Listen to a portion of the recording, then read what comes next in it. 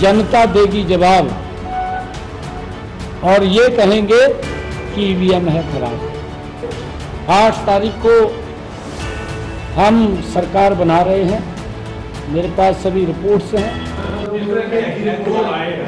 उसको आप कैसे देखते हैं? क्योंकि हर एक एग्जिट पोल में कहीं ना कहीं भाजपा को जाता हुआ हाँ देखिए आठ तारीख को हम सरकार बना रहे हैं। मेरे पास सभी रिपोर्ट्स हैं। और आठ तारीख के बाद आपके सामने है। जन, आठ आठ तारीख को जनता देगी जवाब। और ये कहेंगे कि ईवीएम है खराब। जनता जवाब देगी आठ तारीख को। और ये आरोप लगाएँगे। ये कहेंगे ईवीएम खराब है। ईवीएम को दोष देंगे। ये देने वाले हैं, आप देखना।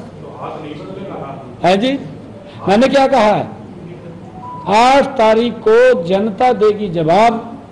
ये कहेंगे ईवीएम है खराब रहे हैं आप? मैंने कहा कि पूर्ण बहुमत से हम सरकार बना रहे हैं। और देखिए, कई सीटों के ऊपर हमारा मुकाबला था इससे हम अछूते नहीं हैं। कई सीटों पे मुकाबला में हैं हम। भारतीय जनता पार्टी पूर्ण बहुमत से सरकार बना रही है।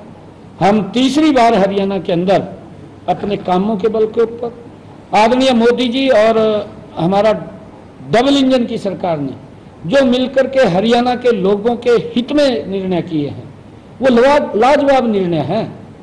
ऐसा नहीं है। लोगों के जीवन को सरल, सुगम करने का काम और लोगों को राहत देने का काम। जो कांग्रेस ने लोगों को लाइन में खड़ा कर दिया था, जो कांग्रेस ने लोगों को प्रताड़ित किया था कि गैस का सिलेंडर भी चार दिन के अंदर मिलता था। चार दिन में भी अगर अंतिम व्यक्ति को नहीं मिल रहा है तो अगले चार दिन वेट करनी पड़ती थी। उससे भी राहत दिलाई है।